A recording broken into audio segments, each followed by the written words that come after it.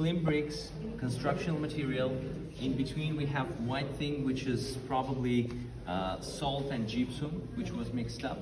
Our ancestors they used camel wool uh, as the protection from the insects. This is how most of the wells were protected from insects and bugs.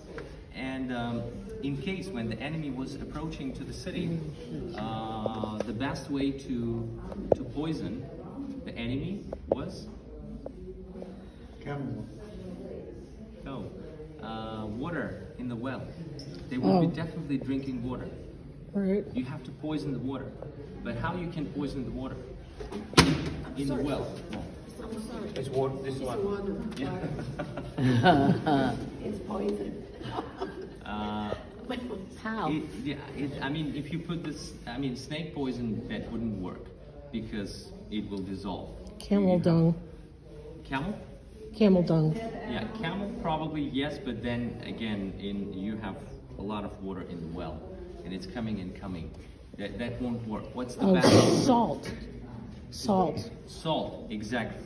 Salt is the best way to poison uh, the water and to poison the enemy because salt probably will not be dissolved 100% for uh, at Won't least a couple of months.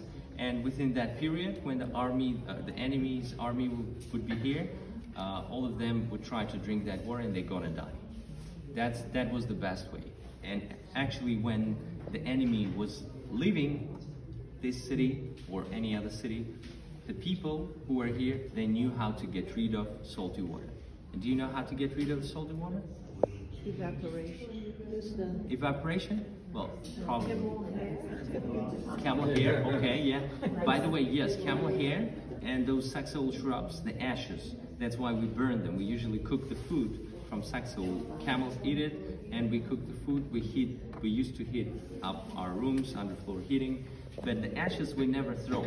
We used to mix it up with camel wool and put it in between the bricks for the wells, Yeah. and it was functioning as a carbon filter so that it was absorbing all the salt in itself.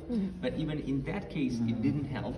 It didn't help because you still have some salt left at the bottom. But how to get rid of the salt which is at the bottom?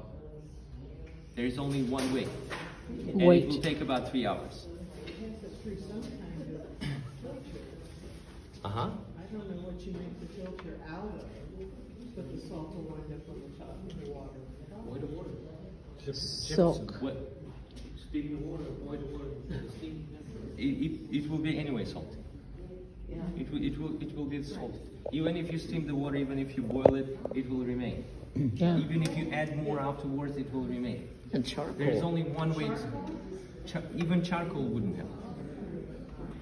The only way, the only way to get rid of uh, the salt uh, in that water and to bring it back to normal is to dry it up. Pull out, let's say, four bricks from the bottom. Pull them out and put it on the top. And the one on the top, put them Put at the bottom, bottom. to switch the places of the bricks. Yeah. That's the only solution. It will take about three hours, not more than that. And the local people, they knew about this. This is how uh, Mongolian army was poisoned. This is how uh, an- anti-religious people were poisoned because they were drinking salty water.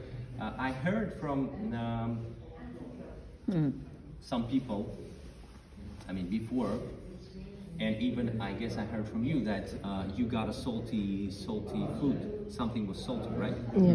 But it's, I mean, nowadays it's because of the Ramadan. The people, the chefs who cook, they keep on fasting during the daytime. They cannot taste because it's not allowed even to swallow, even Ah. to taste, even to brush teeth, and n- nothing. That's why sometimes it becomes a little bit salty, but it's because of Ramadan. But uh, for this one, for the wells, the best way is to switch the places of the bricks. When you switch them, uh, you, you get rid of uh, salt because this one will remain um, in the air, so it, the water doesn't reach this level. And you have new bricks already at the bottom because the bricks absorb everything in itself. That's why the, the bricks, they are so long lasting and that's why we can see this original piece from uh, 600s. That's the oldest. You won't find anything older than this in uh, Bukhara, in Uzbekistan. I think even in Central Asia you won't find anything older than